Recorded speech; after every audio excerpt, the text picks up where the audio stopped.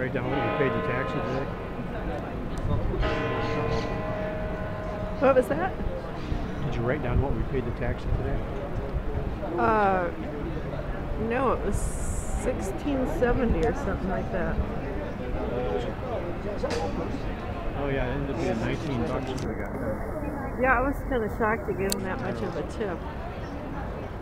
But it's okay. Ooh, the bubbles are pretty. Come on, bubbles, come up. There's one. Oh, it's a good bubble. Oh, it popped. Terminando. More bubbles, please. Oh, yeah, that's a good idea.